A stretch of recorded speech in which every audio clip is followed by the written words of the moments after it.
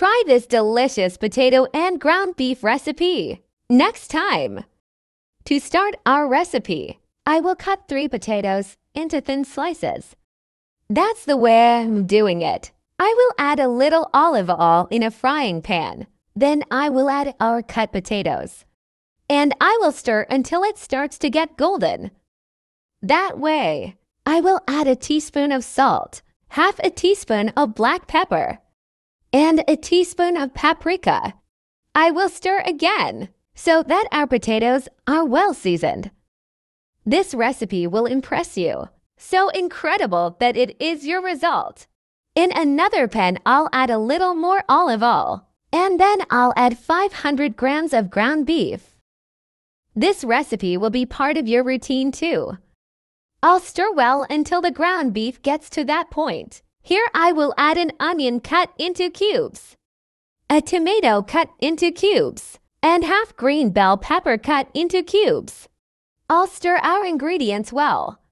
Next, I will add a teaspoon of salt, half a teaspoon of black pepper, a teaspoon of paprika, and a teaspoon of nutmeg.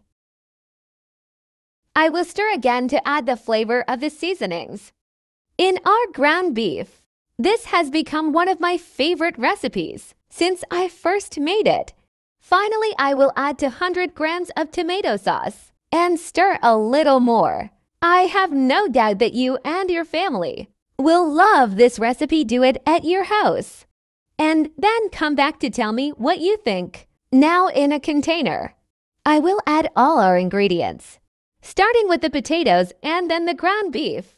Everyone at home loves this recipe. Whenever I do nothing is left, this recipe is wonderful on top of the ground beef. I'll add mozzarella, it's optional, but it makes our recipe even more delicious. I myself was impressed when I made it. So delicious that this recipe is.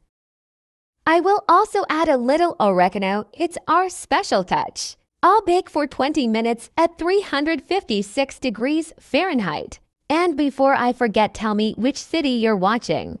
So I can send you a special hug. Today's hug goes to Ida Borges from Portugal.